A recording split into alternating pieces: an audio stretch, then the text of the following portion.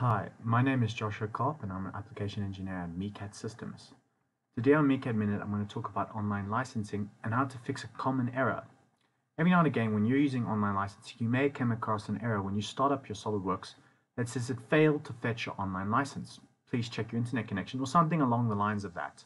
Well, this is quite a common error and we're not really sure why it happens, but we know how to fix it. So it's a really easy fix and I'm going to show you today. You go into your folder view, I go to this PC, and I go to my C drive, usually where SOLIDWORKS is installed your main drive. I go into my C drive and now I'm going to go into program data.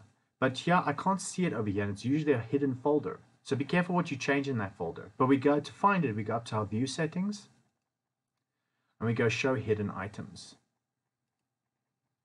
Now we get a program data file that we can double click and open and this is all of our program data on our computer.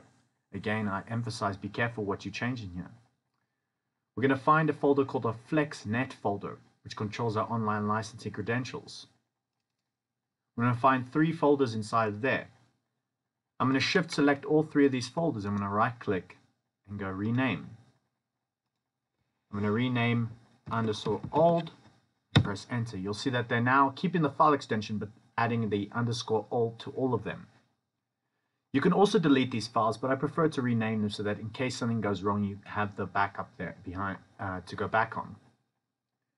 Now you minimize and you start up your SolidWorks. And your SolidWorks should start up and re-verify the license and it should be working perfectly fine again. Okay, thanks a lot and I hope this helps you in the future.